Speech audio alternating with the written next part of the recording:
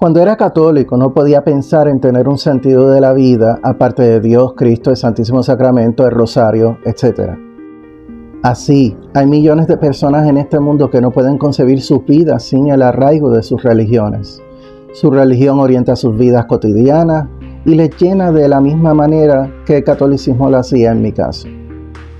Actualmente no soy católico, soy un naturalista religioso y unitario universalista.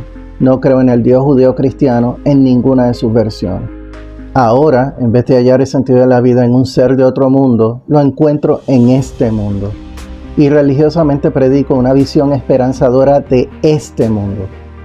Mucha gente piensa que Dios, el universo, la conciencia cósmica, como se llame, en cierta manera le ha destinado a uno a una meta particular la gente continuamente habla de las cosas que Dios tiene para ti.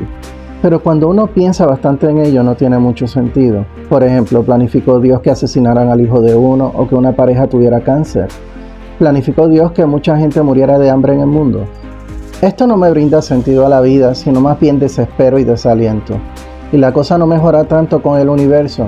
En fin, todo el tiempo ocurre en desgracia por los mecanismos ciegos y amorales de la naturaleza. El universo no es un ser consciente que decreta todo lo mejor para uno. Para los humanistas y naturalistas religiosos, no hay fuerza cósmica que atrae fortunas o desgracias.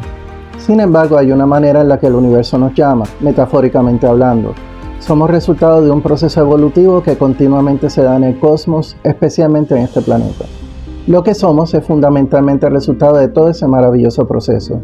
En última instancia, y en este sentido, el universo forma nuestra vocación y nuestro subsiguiente sentido de la vida. Haga el siguiente ejercicio sugerido por el amigo Michael Dowd. En un papel haga tres columnas. En una de ellas enumere todas aquellas cosas que le apasionan. En la segunda columna enumere todos aquellos talentos que usted tiene. No se sobreestime. Finalmente, en la tercera, ponga todas las cosas que usted ve en su vecindario o en su país o en el mundo en los que vea necesidad.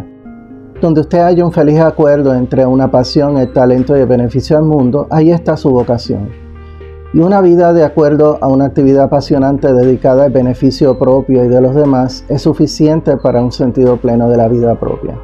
De paso, esta es otra forma más bella de brindarle sentido de la vida a los demás, porque a fin de cuentas no es Dios, no es una fuerza cósmica consciente, sino nosotros mismos quienes notamos ese sentido de la vida. Espero que les haya gustado esta reflexión. Continuemos promoviendo las ciencias, el escepticismo y el humanismo.